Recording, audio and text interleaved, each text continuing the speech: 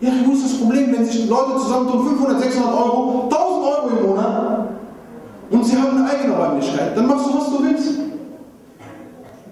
Dann hast du keine Probleme mehr, dann musst du nicht jedes Mal betteln und jedes Mal fragen, als ob du Allah einem da was machen möchtest, als ob du da äh, äh, Nuklear, Nuklearwaffen irgendwie äh, entwickeln möchtest. So, das ist Handel. Egal wie alt die Shabab sind, wenn es um Mode geht, um irgendeine Jeanshose, eine Dieselhose oder eine Replay-Hose oder Nike-Schuhe, die sie sich nicht leisten können, gehen, machen sie. Geht klauen, äh, zieht ab oder wie auch immer. Wofür Islam ist man nicht bereit, etwas zu opfern? Ich hasse dieses Verständnis, dieses äh, Depri zu sein und Anti. So nichts tun. Mach was! Mach was und übernimm dieses Denken von früher, von der Jahiliya und setz das ein und korrigiere das und setz das ein im Islam. Genauso wie Abu Bakr Siddiq radiallahu anhu arda, zu Umar al-Khattab radiallahu anhu gesagt hat, Ajabbarun fil Jahiliyyah, Khawarun fil Islam. Als Umar al-Khattab radiallahu anhu sich weigerte, mit Abu Bakr anhu die Murtadin und die Männer Zakat zu bekämpfen, hat er gesagt, Ajabbar für Jahiliya. In der Jahiliya hatte man Angst, war eine Respektperson Umar Khattab. Auch nach, auch nach dem Islam. Aber vor allem in der Jahiliya hatte man Angst gehabt.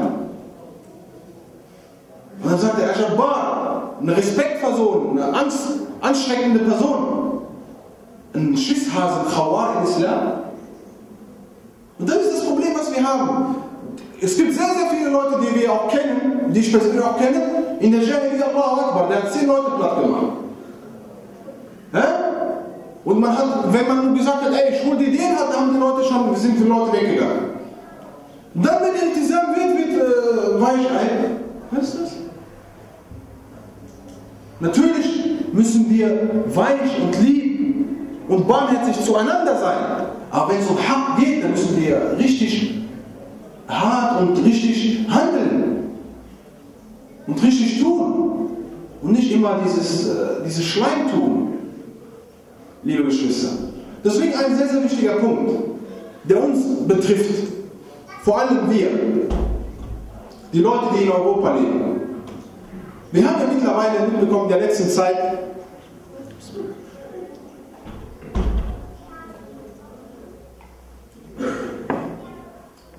der offene Krieg, der gegen den Islam geführt wird.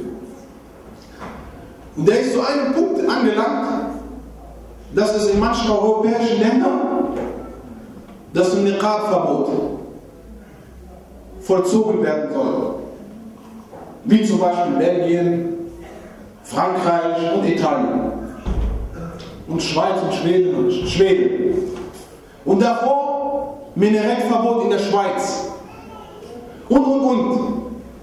Und liebe Geschwister, wir Muslime dürfen keine Schlaftabletten sein. Wir müssen clever und wach sein.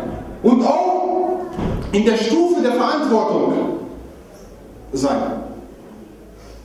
Wir müssen wissen, was da gemacht wird.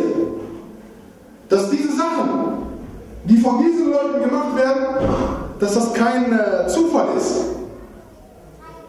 Keine so Hauruck-Aktion. Sondern das sind alles geplante Sachen, die Schritt für Schritt durchgeführt werden.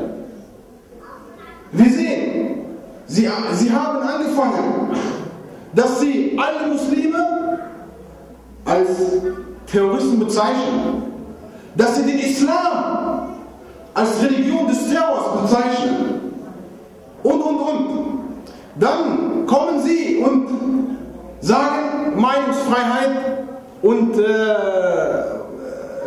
die Pressefreiheit und Fan. Was ist Fan? Kunst. Und was machen sie daraus? Kunstfreiheit? Beleidigen unseren Propheten Muhammad sallallahu alaihi wasallam. Als nächstes wird Druck ausgeübt gegenüber den Muslimen, dass sie sagen, Moscheen, das haben wir auch hier in Köln, Moscheen, die, äh, das ist gegen Integration und und und, dürfen nicht gebaut werden. Es gab sogar welche, die gegen diese Satellitenschüssel sind. Ich habe einen Artikel in der Zeitung gelesen, es gibt manche, die haben gesagt, es soll verboten werden. Satellitenschüssel soll verboten werden. Weil die Satellitenschüssel auch Terror verbreitet. Maschallah. Und das ist alles, das ist alles geplant.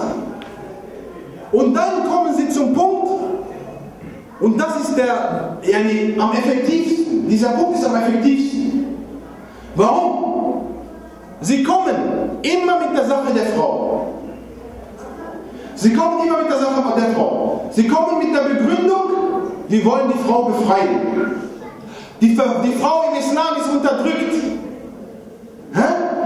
Und, sie, und ihr seht, zum Beispiel bei diesen Erde Allah von äh, Pro NRW, dass sie zum Beispiel Plakate auf, auf, aufgehangen haben, wo bildlich Ali vorne geht mit Tesbih in der Hand und Fatma hinten mit zwei Aldi-Typen. Ja. Warum machen sie das? Ja, das ist dieses Bild, guckt euch mal die arme Frau. Guckt euch mal die arme Frau bei den Arabern oder bei den Türken oder bei den Muslimen allgemein. Weil es geht hier nicht um Türken oder um Araber, sondern es geht um Muslime. Guckt euch mal die arme Frau, wie sie, ja, nee, hinten, als ob sie hinten hinter ihm herlaufen müsste. Und das alles ein, Psych ein, ein psychisches Krieg, was geführt wird.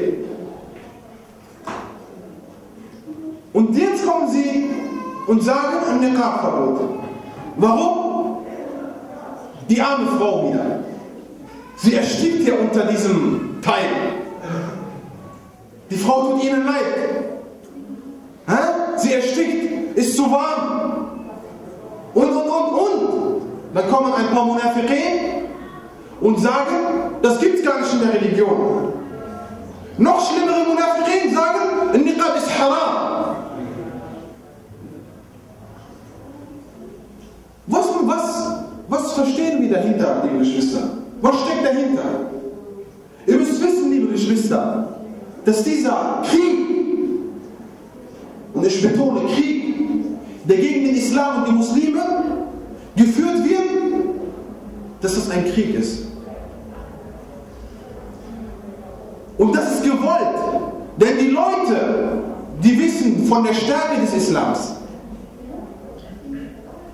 und ich sage die Stärke Islams als Religion selber. Deswegen hörst du von ihnen, was sagen sie? Anti-Islamisierung.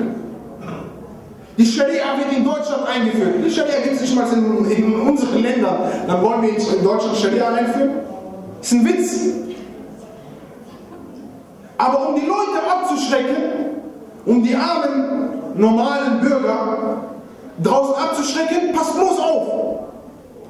Letztens war meine Frau unterwegs, dann war so ein Paar, ein deutsches Paar, da sagt der, der ältere Mann zu seiner Frau, sagt er, guck mal, guck mal, da ist ja einer. Dann sagt meine Frau, ja, hallo. Da gucken die erstmal doof, dass sie Deutsch spricht. Und dann gucken die noch verwundert, dass sie Deutsche ist. Und dann sagt er, ja, ich habe ja nicht gewusst, dass es bei uns in Deutschland auch Niqab-Trägerinnen gibt.